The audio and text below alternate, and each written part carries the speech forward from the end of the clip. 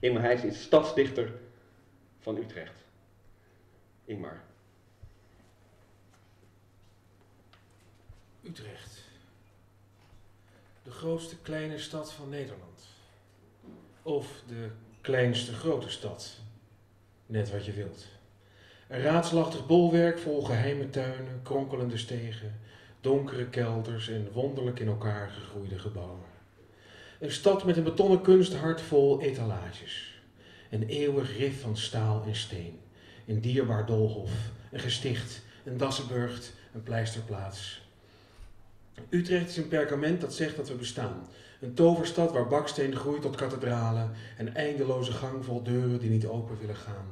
Een woud van kaarsen op een plein. Een kiekje van de kosmos met de nacht als sluitertijd. Gondels op de grachten, borstplaatbruggen boven rondvaartboten van de mandelspijs. Utrecht is een binnenstad vol buitenbeentjes in corset en leer en kant.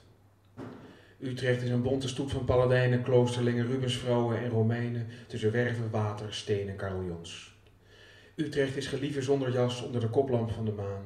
Meisjes met rozen en dolfijnen in hun ondergoed. Hospita, hospita's in statige koloniale lanen. Utrecht is een grijze dame met een opgebroken hart. Utrecht is een lelie die wil bloeien in de nacht.